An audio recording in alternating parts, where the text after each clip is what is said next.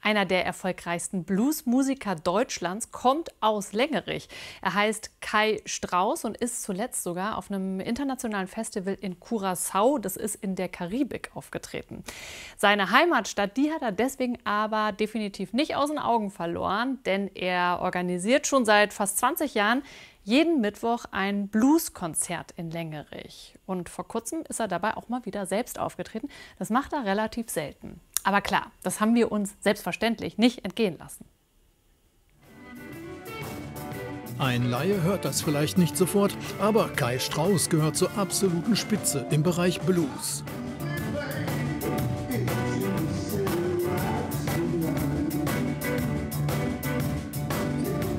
Kai Strauß ist mit seiner Band mehrfach mit Musikpreisen ausgezeichnet worden.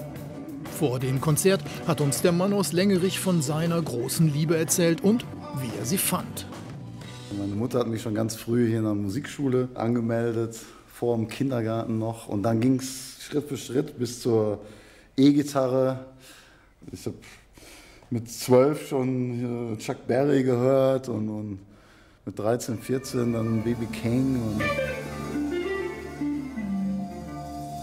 ich sage mal, man sucht sich seine Lieblingsmusik nicht aus. Man, man hört Musik als junger Mensch und bumm, dann trifft es einen wie ein Blitz. Und da war ich infiziert, ne, schon als Teenager.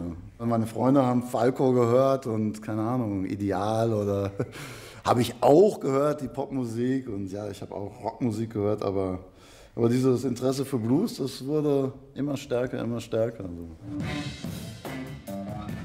Kai Strauß gründete als Teenager seine erste Band und spielte, wann immer es ging, Konzerte. Hier mal 100 Mark verdient und da mal vielleicht 50 oder ja, das ging dann immer so weiter und ich habe, wie gesagt, auch mal versucht zu studieren, aber dann irgendwann so nach drei, vier Semestern, dann war die Liebe zur Musik doch irgendwie, irgendwie größer und dann sah ich ganz ehrlich meine Zeit als verschwendet an, da in Hörsälen zu sitzen, wenn ich doch Gitarre spielen könnte in der Zeit. Es war ein Risiko, ganz auf die Musik zu setzen, aber für ihn hat es sich gelohnt. Er ist inzwischen in über 20 Ländern aufgetreten. With